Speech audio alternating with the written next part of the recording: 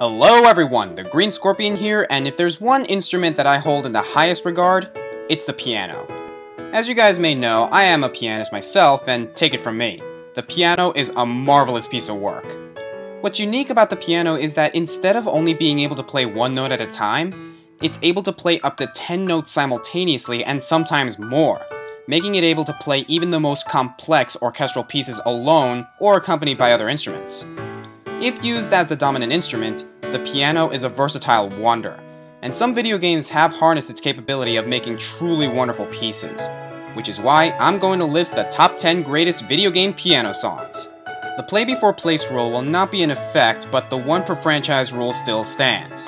Also, for a song to count, the piano must be the dominant instrument of the piece. Alright, let the recital begin.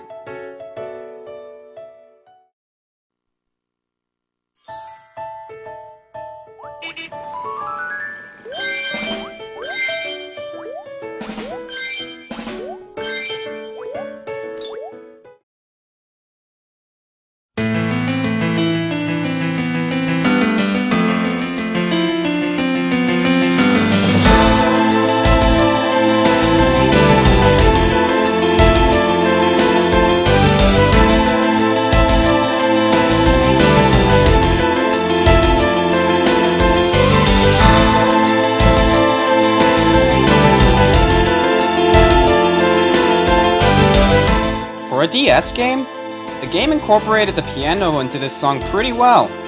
Confess the Truth 2009 is a song that plays anytime Miles Edgeworth is close to getting his suspects to confess the truth, as it were.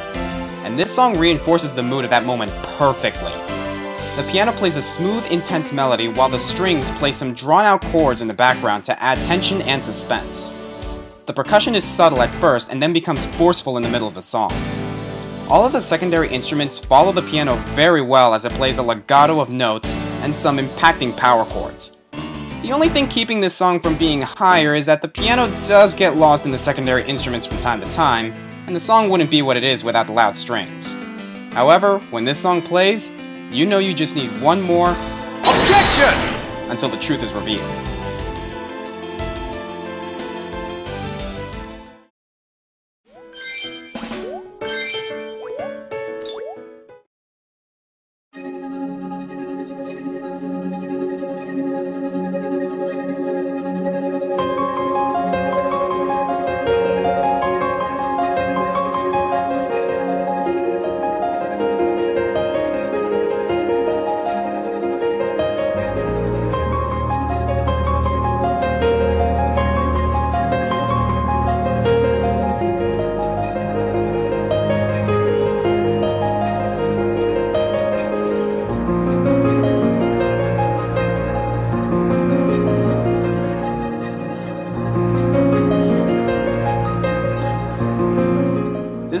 Peaceful song, which fits considering its title. Beyond Good and Evil is an action-adventure game that didn't really see too much of the spotlight due to low sales, but one thing that has been said about it is its music. Home Sweet Home's peaceful legato melody coupled with a string bass line that gives off a sense of mystery comes together to create a wonderful gem of a game track. This feel is complemented further with the game's plot revolving around planetary enslavement and alien conspiracies. No matter where you are or what you face, you always have a home to go to. While this song is a bit repetitive, this is one song that certainly says home.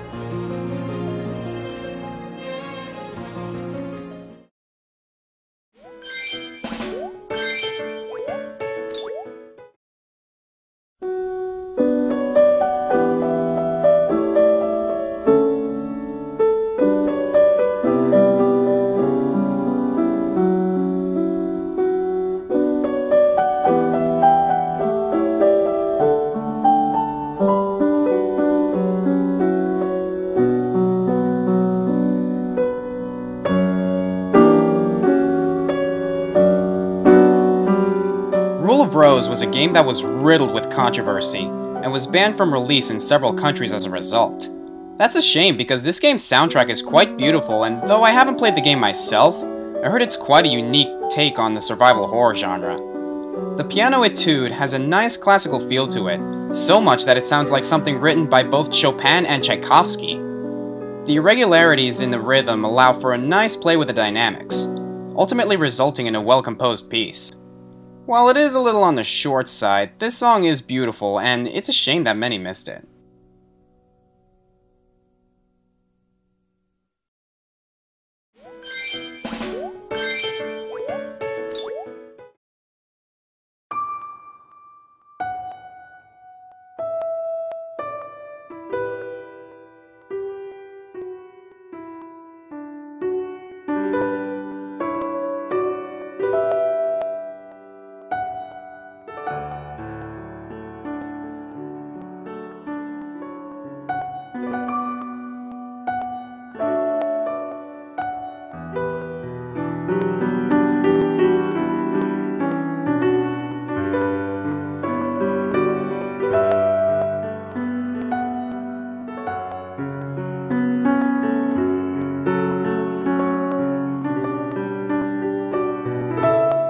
I know a lot of people have negative feelings towards Metroid Other M, but I actually like this game.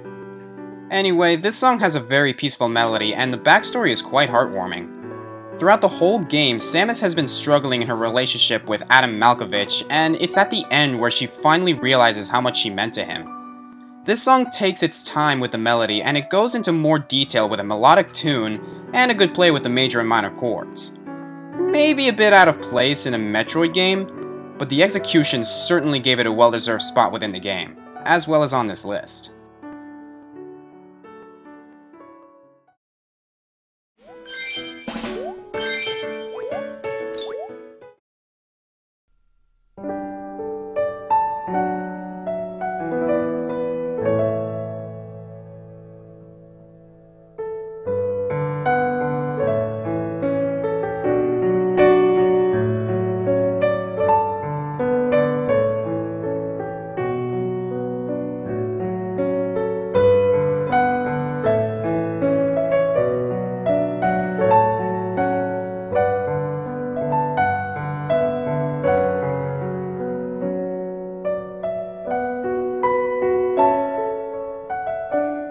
After defeating Pain, rescuing the Hidden Leaf Village, and inheriting the will of Jiraiya and the 4th Hokage, Naruto can finally get some well-deserved rest, and this song perfectly represents the feeling of satisfaction. The credits theme from Naruto Shippuden Ultimate Ninja Storm 2 closes off the main scenario of the game with a beautiful melody, coupled with harmonious chords and arpeggios on the bass line.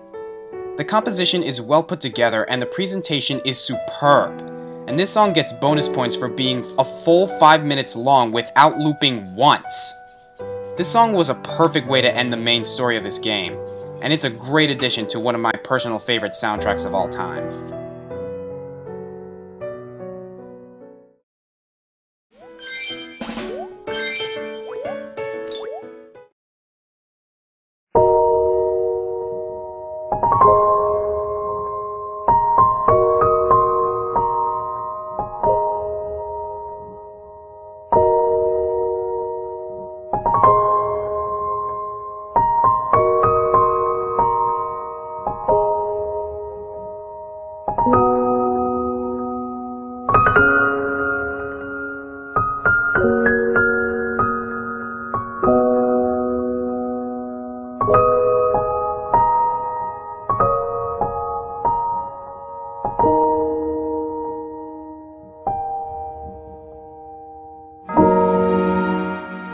Not have been the most lovable character in the game, but it was such a sad moment when she finally had to say goodbye. Fi's gratitude starts off with a simple but well-executed melody with some nice chords on the bass line. Then the song continues with strings coming in to complement the piano. What's great about this song is, while it does use other instruments, they don't take away from the piano, keeping a nice balance between melody and harmony. It causes a song to amplify the feelings of happiness, sadness, and satisfaction. It is truly one of the greatest piano pieces in video games as of today.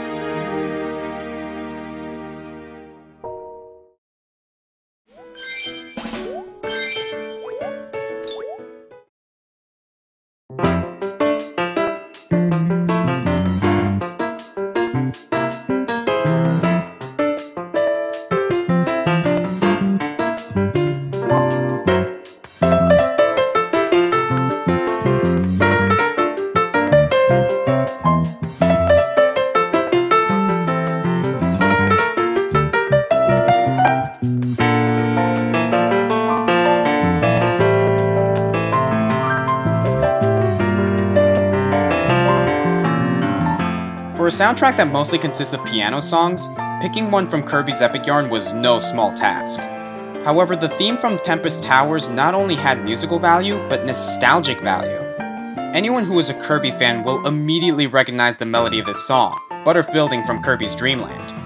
Tempest Towers gives it a makeover with a jazzy piano melody, coupled with stunning harmonization and a small ensemble of background instruments, including drums and a bass. What's also great is that this song transitions from an upbeat style of jazz to smooth jazz and vice versa every verse, so you get a fresh sound throughout the entire song. This song gives a cheery vibe that fits the mood of Kirby's epic yarn perfectly, and is a welcomed addition to probably the cutest game the Pink Wonder has been a part of.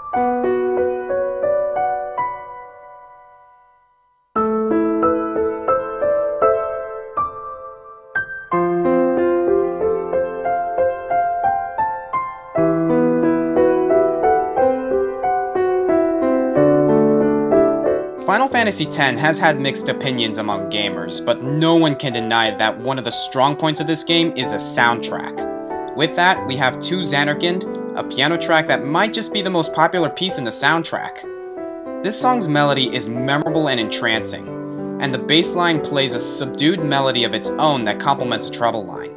In fact, the bass line of this song barely gets a rest throughout the song. This song gives off a vibe that makes you feel right at home, which makes it a rather sad piece considering Tidus' puzzling but despondent backstory. This song truly merits a spot on the list, but it isn't any higher because dynamics aren't exploited to the fullest in this song, while the next two songs go above and beyond with their compositions.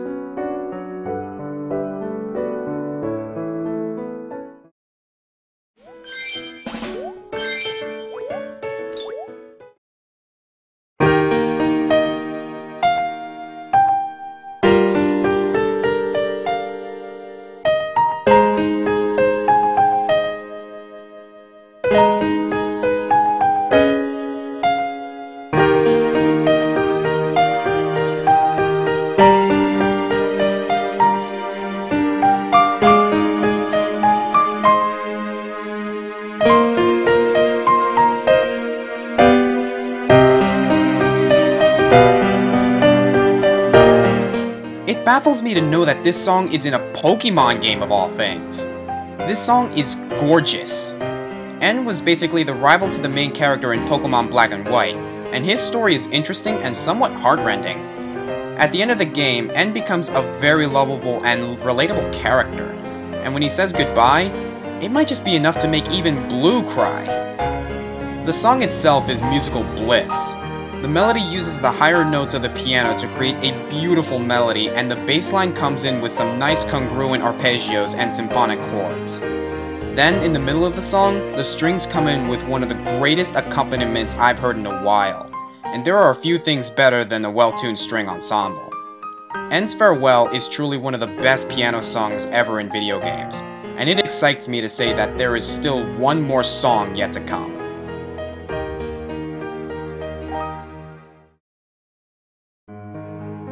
Alright, this recital is just about over, but before we get to the finale, let's recap. Number 10, Confess the Truth 2009. Number 9, Home Sweet Home. Number 8, Rule of Rose Piano Etude. Number 7, Metroid Other M Piano Medley. Number 6, Naruto Storm 2 Credits Theme. Number 5, Fi's Gratitude.